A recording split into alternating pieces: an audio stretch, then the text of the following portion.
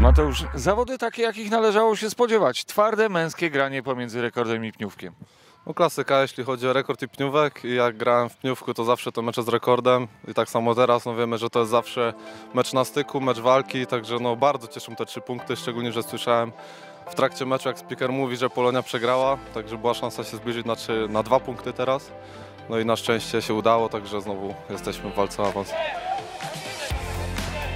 Ale Biskup, znakomita obrona Gocyka, jeszcze poprawka.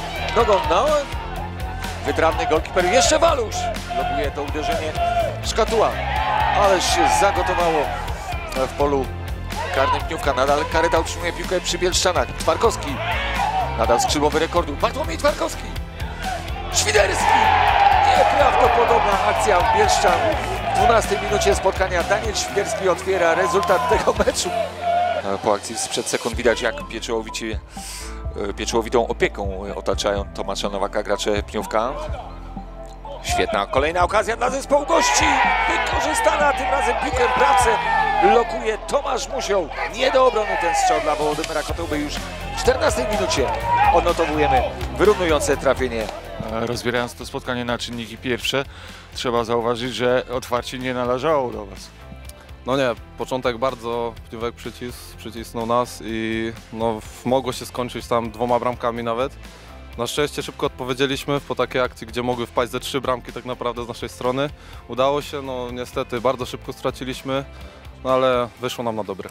W drugiej fazie pierwszej połowy już ten obraz zdecydowanie bardziej wyrównany, natomiast nastąpiła jakaś metamorfoza, jakaś przemiana w Waszej grze po przerwie. Myślę, że też bardzo dużo sił zaangażowali chłopaki z Pniówka w pierwszą połowę, bardzo mocno szli.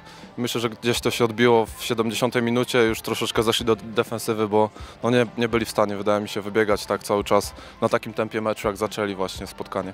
Natomiast Wy zademonstrowaliście taki fragment futbolu, rzekłbym, totalnego, bo i Ty się pokazałeś parokrotnie w ofensywie, między innymi przy golu na 2 do 1, a Daniel Świderski dla odmiany znakomicie spisywał się w roli środkowego obrońcy.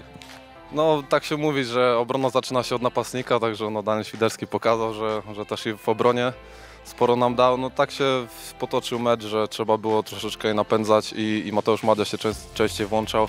Także no bo obrona pniówka stała nisko, także musieliśmy jakoś spróbować to inaczej ro, rozgryźć niż do tej pory. Gratuluję w każdym razie zasłużonych trzech punktów. Dziękuję bardzo. Rekordziści na trzy wieże w polu karnym, Pańkowski, Biskup i Świderski. Oczekują tylko na dobre, dokładne dośrodkowanie. Takie jest. Michał Biskup znakomicie w 69 minucie po dośrodkowaniu. Znakomicie lokuje piłkę w ramce. Daniel, świetne zawody w Twoim wykonaniu.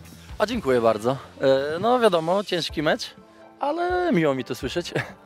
Nietypowa y, rola na boisku Twojego partnera dotychczas w ataku, Michała Biskupa również. No na pewno, ale myślę, że zdało to egzamin, strzeliliśmy po bramce, wygraliśmy mecz, także, także, jest- także dobrze. Zdrowia zostawiliście mnóstwo na murawie. No to na pewno, to na pewno. Też pogoda, wiadomo, że boisko też było grząskie, dużo zdrowia zostawiliśmy, no ale na, w każdym meczu trzeba zostawić dużo zdrowia, żeby, żeby trzy punkty zdobyć. Co było trudniejsze dzisiaj? Przepychanie się z obrońcami Pniówka, czy wypełnianie nadprogramowych obowiązków w defensywie? Nie, nie były nadprogramowe, mi się wydaje, były takie jak, e, takie jak zawsze, a przypychanie raczej nie jest trudne. Ale pierwsze minuty, przyznasz, należały do Pawłowiczan. E, To na pewno. No, spodziewaliśmy się tego, że będą tylko dośrodkowywać i grać dłuższą piłką, ale, ale wybroniliśmy to, co w sumie pierwsze sytuacje. No, nie ustrzegliśmy się błędu przy, przy bramce na 1-1. No, specyficzna też gra, no bo wiadomo, oni byli mega cofnięci, było bardzo mało miejsca, żeby ten atak pozycyjny prowadzić, ale mówię, najważniejsze są trzy punkty. Od najbliższej perspektywy wyjazdowa konfrontacja w Goczałkowicach. No dokładnie, to będzie kolejny trudny mecz jak każdy zresztą w tej lidze, ale, ale mówię, no w każdym meczu gramy o pełną pulę i tak będzie do końca sezonu. Yeah.